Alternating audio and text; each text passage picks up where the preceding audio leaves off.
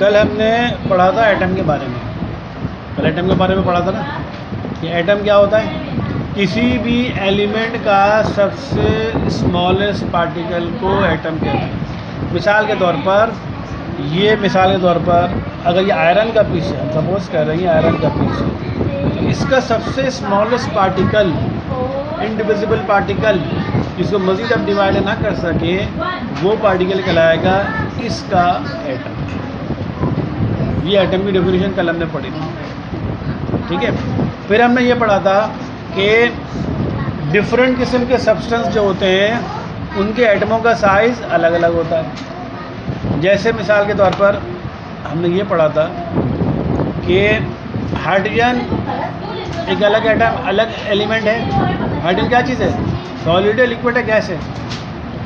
Hydrogen gas है। उसका अलग एटम या मॉलिक्यूल होगा। ऑक्सीजन गैस है, उसके अलग मॉलिक्यूल या एटम होगा। कार्बन अलग है कार्बन क्या है? सॉलिड है लिक्विड है, गैस है। सॉलिड है कार्बन कार्बन कार्बन कार्बन जैसे कोयला जिसे हम कहते हैं कोयला कार्बन की शक्ल है। तो कार्बन जो है एटम जो होगा, वो अलग होगा। तो डिफरेंट हमने ये पढ़ा था कि डिफरेंट किस्म के एलिमेंट का डिफरेंट साइज़ होता है।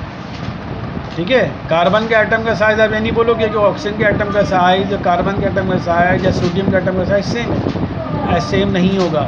हर एलिमेंट का, हर एलिमेंट के एटमों का साइज़ डिफरेंट होता है। लेकिन अगर एक ही एलिमेंट की बात करो, जैसे मैंने कहा, बताया था, मैंने कहा अगर आयरन का पीस लो सिर्फ़। मैंने एग्ज़ाम्पल ये बताई थी फ़र्स्ट करो ये आयरन का एक पीस है ये। ये आयरन का एक एटम है।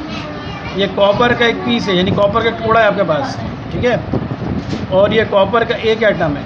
अब कॉपर के जितने एटम होंगे सारे जिससे मिलकर ये कॉपर का पीस बना है वो तमाम एटमों का साइज़ सेम होगा डिफरेंट होगा? सेम होगा।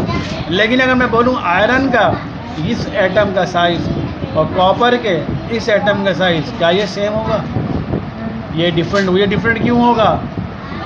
क्योंकि ये डिफरेंट एलिमेंट है ये आयरन का पीस है। ये कॉपर का पीस है इसका कॉपर जो है, का आइटम का साइज़ कुछ और होगा आयरन के आइटम का साइज़ कुछ और होगा। ठीक है? ये था एटम हमने कलम आइटमों के बारे में पढ़ा था।